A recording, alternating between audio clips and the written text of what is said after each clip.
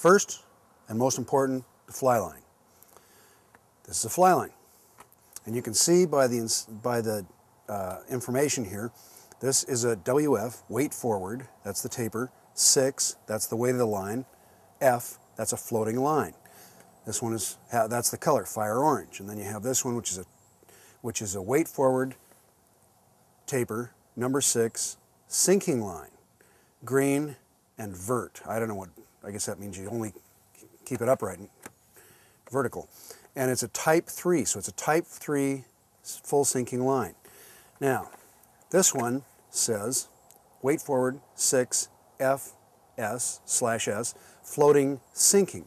That's a sink tip, and it also says sink tip right there, and then it tells you what kind of sink rate it has, which is a 3, just like this one, type 3, type 3. These are both type 3 sinking lines, but this one is a sink tip.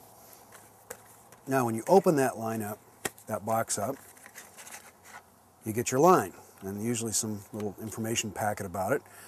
You've got this little tag, and don't fail to put that on your reel because believe me, you'll never know what line you have a year later.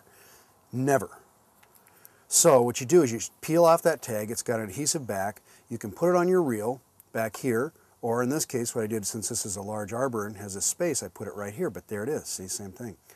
Right inside there, and now anytime I want to know what that line is, I just pop off the spool and I look. It's a weight forward six floating.